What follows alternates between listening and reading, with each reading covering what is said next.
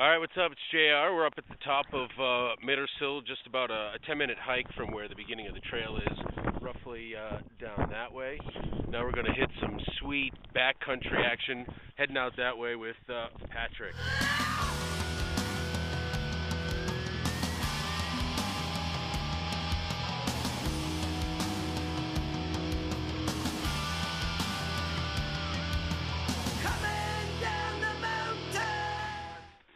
Feel the burn. There it is. That's part of Mittersill, Mittersill, the uh, new backwoods section of uh, Cannon Mountain. Uh, killer stuff. Look at this is the steepness right here. This is even where we came from. The pond, the other face wall. That's where we're going.